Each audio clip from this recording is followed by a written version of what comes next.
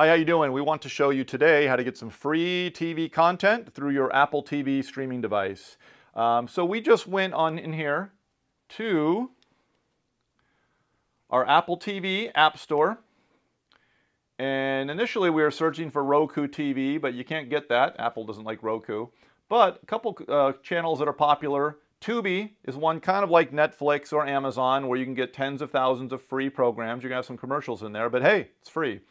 Another one you've got here is Pluto TV. This is more like conventional TV 25 years ago, where when you go to Pluto TV, it's going to have programs that are on at certain times, just like you had in the old days. It's all free. It's through Apple TV. Watch some stuff. Thank you very much.